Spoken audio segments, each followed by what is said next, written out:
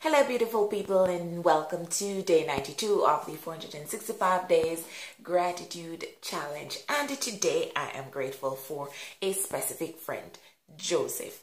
Now, I don't even remember when Joseph and I became friends. I just remember meeting Joseph at work, and then after that, we were friends. It's like that with some people. You just click, and the rest is history. Anyway, today after work, I went to the machine across the road um, because I definitely needed some cash, clearly. And it was raining, I need to add that. And the machine was out of service. And he just saw me, and I was like, oh my goodness, like, seriously, what is this? And he said, you know, come here. So I just went. He started his car. I got in, and he's like, oh, so you want to go down to Lane? That's somewhere in Mandeville. That's way past where I live. So he, wa- he was going to take me to the machine without me even asking.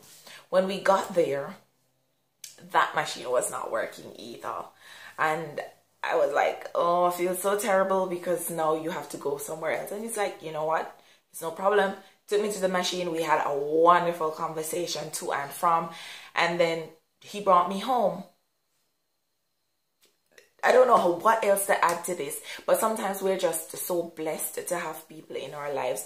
People who are genuinely kind and thoughtful, no strings attached. And when we have those persons, we have to be grateful for them and not just say to others or say to ourselves. We have to tell them, Thank you, Joseph. I appreciate you. And it's not just for today, he is genuinely kind every single time I see him, and from the gist of things, I don't even think it's just to me. He is genuinely kind to everyone. And Joseph, I just want to commend you for your wonderful spirit. I mean, I really, really appreciate you. I appreciate your kind gesture, and I also appreciated the wonderful conversation that we had. And yeah, that's it for today. That's who I'm grateful for today.